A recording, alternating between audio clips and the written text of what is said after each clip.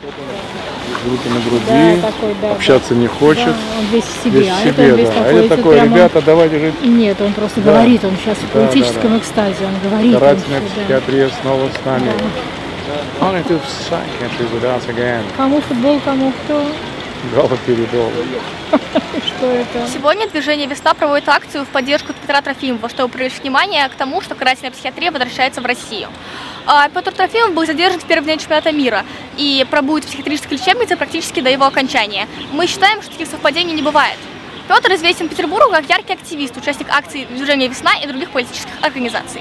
Собственно, не очень понятно правовое основание помещения Петра в психиатрическую больницу номер 6. Просто потому что, как правило, туда помещают лиц, обвиняемых в тяжких, особо тяжких преступлениях, таких убийства и изнасилования. Но никак не в преступлениях небольшой тяжести, а именно в самоуправстве, в котором обвиняется Петр.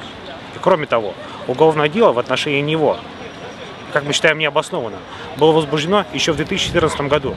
На сегодняшний день по нему уже истек срок давности в два года. Им было подано ходатайство о прекращении данного уголовного дела с истечением срока давности.